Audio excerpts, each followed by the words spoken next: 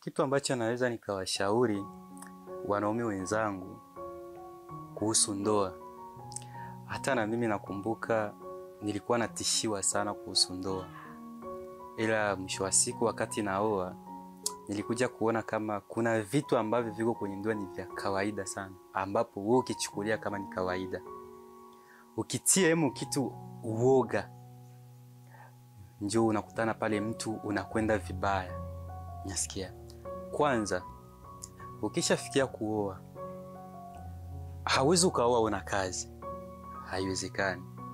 Hawezi ukaoa ingali uko na tamaa ya, ya kufatafata wanawake nje, hiyo ndoa haiwezi ikadumu. Hapana. Kitu ambacho naweza nikashauri wanaume wenzangu, kama unajua uko na kazi ambayo inaweza ikakukulisha ikamaliza mahitaji yako na ukawa na ekonomi fulani ambayo unaweka, naweza nikakushauri uoe, usisikie uoga, kwa maana unaweza ukaoa, pengine kuna mambo yako wakati ulikuwa bado hujaoa yalikuwa haiwezekani kuyapata, lakini ukishaoa unaona mambo yako, madili zinakuja kwa wingi, mambo yako yanakuwa yana mepesi mepesi, kwa maana kwa sababu riski yako kwanza, Mungu anakuwa ameigawa mara pili, ya wewe na huyo mwenzako, kwa maana riski ya wewe mwenzako inapitia ku, kwa wewe. Umenisikia? So kwa hiyo kuna ile sababu Mungu anaikupa kupata riski na kupata dili mbio mbio au kuneemeka kupitia ndoa. Sasa na ukisha kuwa hauko yani, uko kama vile unajishakia wiki maisha, ah, mimi kile kitu siwezi nikakifanya kwa kuwa wale wenye washakifanya wamejaliwaga huko. Sisemi hivyo, kila mtu Mungu alimuumba na akampatia njia zake. Pingine wewe una kazi hili lako ndogo ambayo uko nayo, ukajituma tu kufanya kitu hicho, kitu ukakijiamini nacho, unaweza ukaoa na ukaendelea tena ukifanya hicho kitu.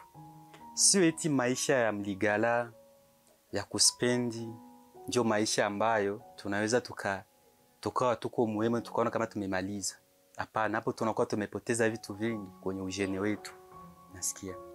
Lakini tukisha kuwa na fikra ya kusema acha mimi nijenge, hata kama nitakuwa nitachelewa kuoa, lakini acha kwanza mimi nijenge, hata ikifikia kuoa nikuje kuoa niko na kakitu fulani au niko na nyumba yangu fulani, kwa maana mimi mbele ya kuoa nilikuwa na yani, nilitayarisha kwanza mazingira yangu mimi ya kuwa sina stress ya nyumba. Kuna nisikia sana kama sina stress ya nyumba, juu kitu maisha kenye kinambebaga mtu stress ni nyumba. Kuna nisikia tuache kwanza kazi, kwa maana mtu anakuambia utanilipia nyumba. Kuna nisikia lakini ukisha kuwa uko na kazi ambayo inaweza ikalipa nyumba na ile ile kazi yako ukawa rasio inapatikana kweli, naweza nikakushauri uoe na kwa maana na katika harakati ya kuua sio eti leo utapata utaendelea unapata unapata. A, kuna siku unakosa kweli, na unamuelewesha mwanamke wako, na mimi leo nimekosa. Mwanamke akakuelewa, kesho ukaenda tena ukapiganisha, nimepata, maisha yakaendelea, kwa maana siku moja hawezi kavunja miaka yote ambayo Mungu alikuandalia. Na wale ambao wameshaoa ndani, naweza nikawashauria warizike na ndoa yao kwa maana katika ndoa kuna mambo mengi ambayo yako yemo ndani. Huenda kuna wanawake ambao hawaeleweki ndani, kuna wanawake ambao mbele kwa kimletea zawadi alikuwa akiipokea, lakini akifika kwenye ndoa haipokei.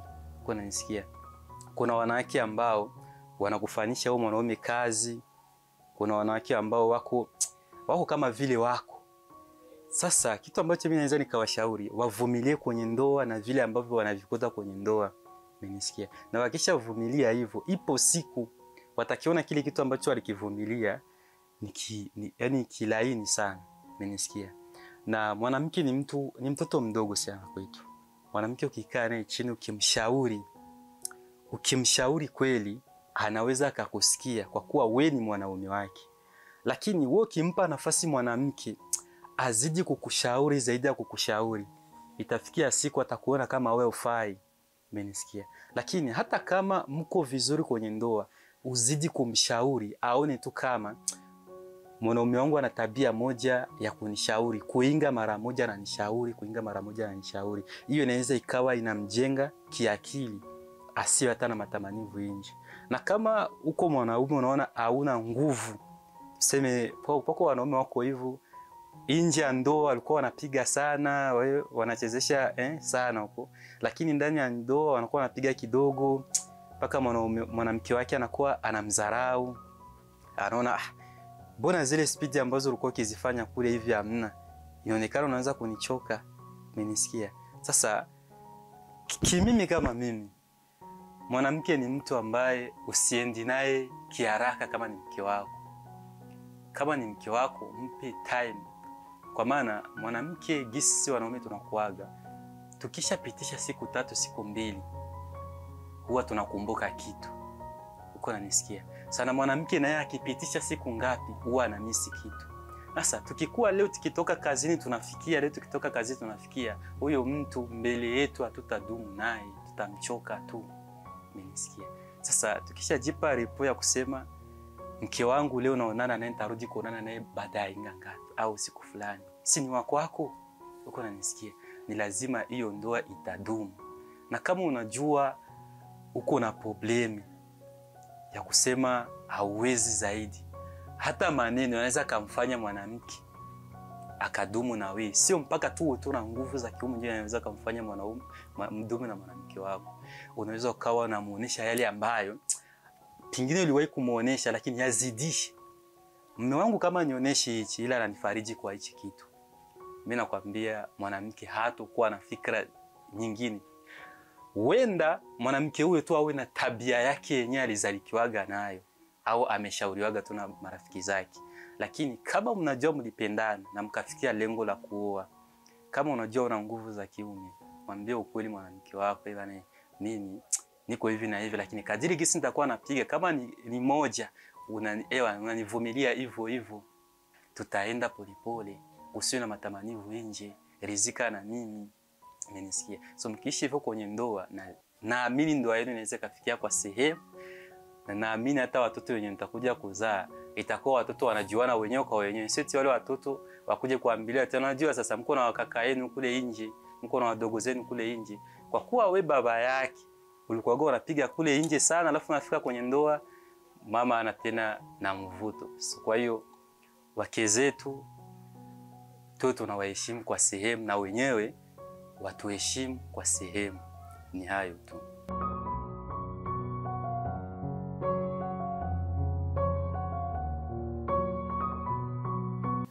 Kwa binti wenzangu, naweza nikawashauri msipendi kuona, msipendi wanawake wanaume wenye hela sana, kwa maana kwa wale wanaume wenye hela kuna wenyewe kuna malengo, kuna wengine wenyewe wanakuja kuwatamani tu wawalagae na zile pesa zao, wakipata chenye wanataka wanafuka wanawaacha.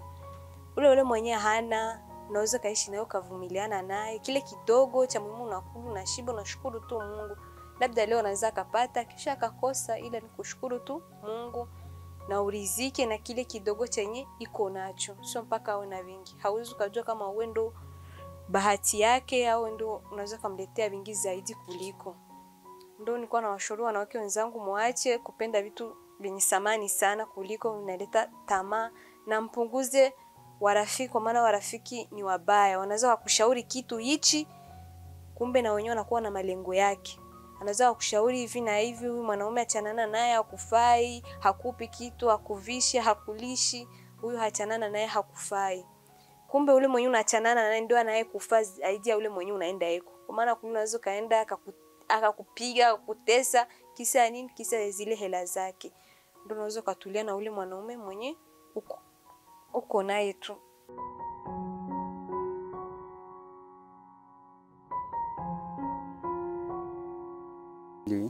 Mke wangu, unajua katika maisha siwezi nikasema kama nina uzito wa kupenda, lakini mimi naweza nikasema mimi ni mwepesi wa kupenda. Sehemu ambapo nilipozamia ni kwako, na sijawa na kumbukumbu yoyote ya kufikiria mwingine mwanamke zaidi yako. Acha tu niseme kama nakupenda sana, na nakupenda kutokana, yani kutoka ndani ya nafsi yangu. Na kusamini pia kwenye kumbukumbu kumbu yangu mimi sidhani kama kuna mwanamke mwingine anaweza akaja mbele yangu mimi. Kila nikiamka nikilala, huwa nakufikiria wewe tu zaidi. Basi nakuomba unilindie penzi langu kama hujawahi kulilinda, nakuomba unisamini kama hujawahi kumsamini mwanaume wote katika maisha yako.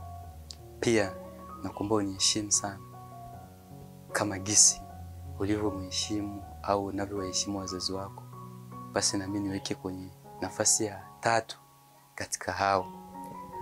Acha niseme tu na kuahidi kama sitokusaliti, sitokuacha, sitokuumiza kwa kitu ambacho wanasemaga ni makusudi. Hapana, mimi nakupenda, nitakuheshimu, endelea nakupenda pia. I love you.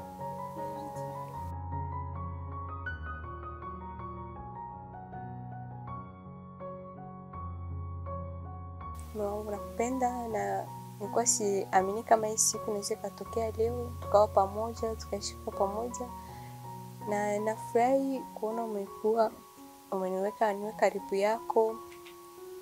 Ani, sina mengi ya kusema zaidi ni furaha yenyewe ninayo, na nitaendelea kukupenda, nitaendelea kukuheshimu, kukuvumilia kwa kila hali ilivyo nayo, na kwa hichi kiumbe chenye tunachotarajia tukipende na tuzidi kupendana zaidi, tusivuliani heshima, japokuwa tutakoseana, tusikoseani hadi watu waenje wakajua, bali tuendelee yabakie tu ndani kwa ndani, konsiezio kwa wingi. Hilo tu mwanangu, I love you. I love you too. Mm.